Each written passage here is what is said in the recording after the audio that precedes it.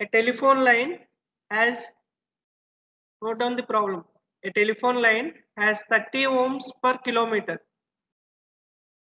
30 ohms per kilometer and inductance value is 100 millihenry per kilometer. 100 millihenry per kilometer and G value is given as 0 and capacitance value is given 20 microfarad per kilometer 20 microfarad per kilometer. So at f is equal to 1 kilohertz determine the characteristic impedance z0 and propagation constant gamma and phase velocity u r v phase velocity u r v so this is also straightforward problem so R value is given, L value is given, Z is 0 and C is equal to 20 microfarad per kilometer and frequency is given. But only thing is while substituting the values for R you have to divide with it is 30 ohms per kilometer. So in the formula we will have only per meter. We will have only per meter. So while substituting the R value, so what you have to do means 30 by kilo means 10 power 3 or you can write 30 into 10 power minus 3. Similarly, L value it is given 100 millihenry per kilometer.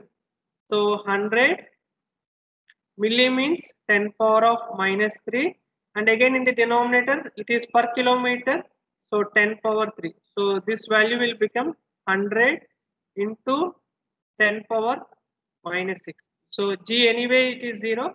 Again for C, C it is given 20 microfarad per kilometer. So 20 micro means 10 power of minus 6 and kilometers again it is 10 power of 3. So it will become 20 into 10 power of minus 9 farad per meter. So this is Henry per meter and this is ohms per meter.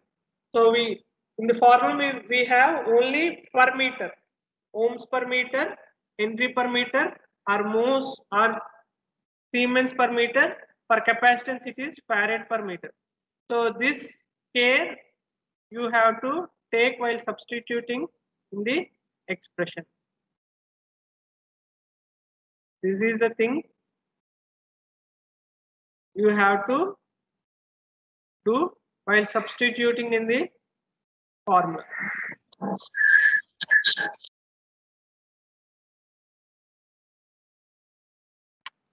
So this is the value that you will get if you convert it into rectangle form.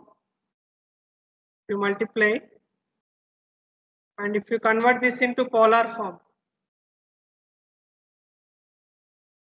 So it will be 0.6287 at an angle of 87.265 degrees. All are in degrees. And denominator G is 0 as it is given. So J means it is 90 degrees. So J means it is 90 degrees. So simply omega, omega kilohertz means it is 10 power 3. 10 power 3. So 2 pi f and C value is given 20 microfarad per kilometer. Micro means 10 power of minus 6. Kilometer means 10 power of 3. You have to divide. So this is the value that you will get. So cross check your results. So this is the final answer for the characteristic impedance. So if you divide these two numbers and angle will be if you subtract 87.265 and 90 degrees, it will be around 2.735 and while taking square root, we have to divide this by 2. So 2.7 by 2 means it will be around 1.3. So for this you have to take square root. For magnitude part you have to take square root. For the angle part you have to divide with 2. So is it clear?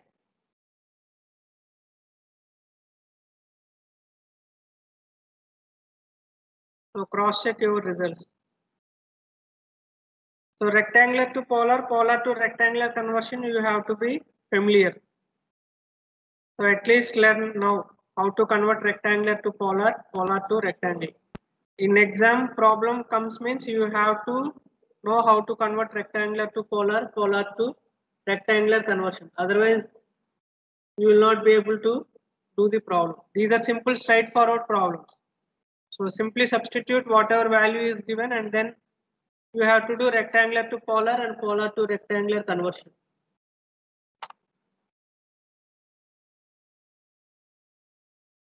So then similarly, you have to calculate the propagation constant also. Now instead of dividing these two numbers, you have to multiply the magnitude part and you have to add the angle part. So for propagation constant, so you have to multiply the angles. So this will be R1 at an angle of theta 1 and this will be R2 at an angle of theta 2. So both angles you have to add 90 plus 87 means 177. The fractional part is 265. So while taking square root, this you have to divide with by 2. So 87, 177 by 2 means it will be 88 and the corresponding. So for this part you have to take square root.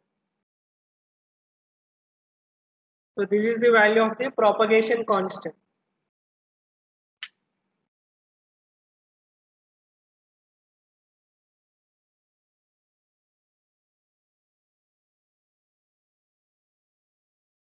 So again, if you convert this result it into rectangular form, polar to rectangle, you will get this is the value. So this is alpha plus j beta.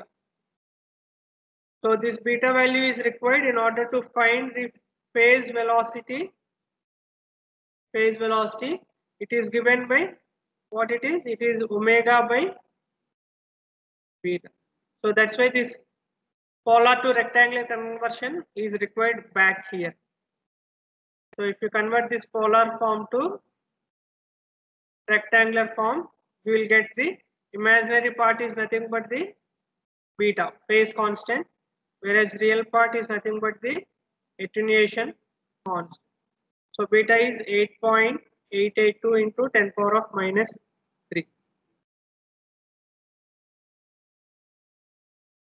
Any doubt?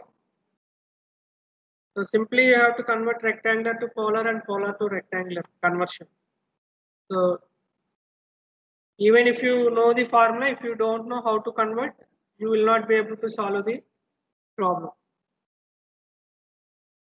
Now the phase constant is simply straightforward. Omega by beta. Omega is nothing but 2 pi f.